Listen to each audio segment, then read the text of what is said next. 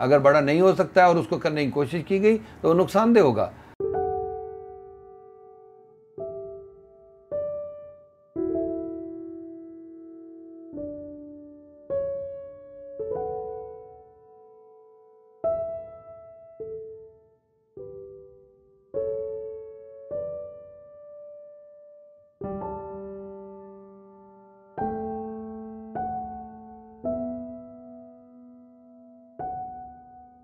जी अस्सलाम वालेकुम viewers doctor Aslam Naveed men's care से सेक्सुअल डिसऑर्डर पे।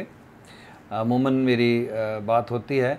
आजकल बहुत ज़्यादा नेट पे जो इस बात का रुझान देखा जा रहा है कि साइज़ बड़ा करने के लिए ये कर लें साइज़ बड़ा करने के लिए तिल्ला लगा लें साइज़ मोटा करने के लिए ये कर लें लंबा करने के लिए ये कर लें। आ, मैं ये कहूँगा कि पहली चीज़ तो साइज़ का स्टैंडर्ड साइज़ का ताल्लुक सेटिस्फेक्शन से नहीं है। ये गलत है। सेटिस्फेक्शन का ताल्लुक किसी और चीज़ से है। वो फिर किसी को बयान करूँगा, लेकिन इसमें मैं साइज़ पे बात कर रहा हूँ। साइज़ अगर किसी का इरेक्शन होने पे चार इंच है, साढ़े चार इंच है, पाँच इंच है तो सफिशेंट है। इससे हमारे पास बहुत केस आते हैं जो साइज़ बड़ा करने के चक्कर में अपना वेनो क्लोसिव सिस्टम फेलियर करा के आते हैं। यानी उनका साइज़ कुछ लंबा तो हो जाता है, लेकिन वो खड़ा होने के काबिल नहीं रहता। इसलिए इससे बचें, इस चीज़ से। इसको अगर किसी को, किसी की मजबूरी है या किसी की ज़रूरत है साइज़ बढ़ाने की तो फिर साइंटिफिक अंदाज में जाएँ। फिर ये तिल्ले, मालशें और ये और वो और इसके चक्कर में ना पड़ें।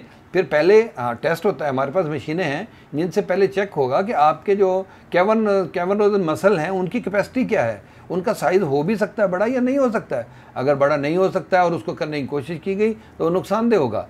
और अगर हो सकता है तो फिर उसको साइंटिफिक अंदाज में कि इसके जो कैवन मसल्स हैं, उसकी कैपेसिटी किस तरह देखी भी जा चेक भी की जा सकती है और उसको बढ़ाया भी जा सकता है। वो फिर मशीनों के साथ है, उसका सारा तरीकाकार है। मशीन में मेडिसिन जाती है, वो पूरी पेनिस में वो दाखिल करती है। वो सारा कुछ साइंटिफिक अंदाज में किया जा सकता है। लेकिन अमूमन जो चीज़ें दवाइयाँ बिक रही हैं, वो आपके किडनी फेलियर कर सकती हैं, वो आपके लीवर पे प्रॉब्लम कर सकती हैं, वो आपके हार्ट पे प्रॉब्लम कर सकती हैं।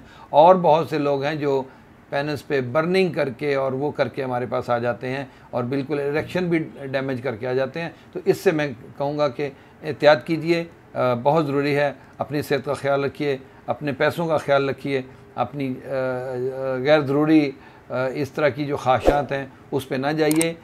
साइज़ पे हम डिटेल बात भी करेंगे इन फिर किसी वक्त। थैंक यू वेरी मच इस वक्त मेरा यही अल्लाह हाफिज़।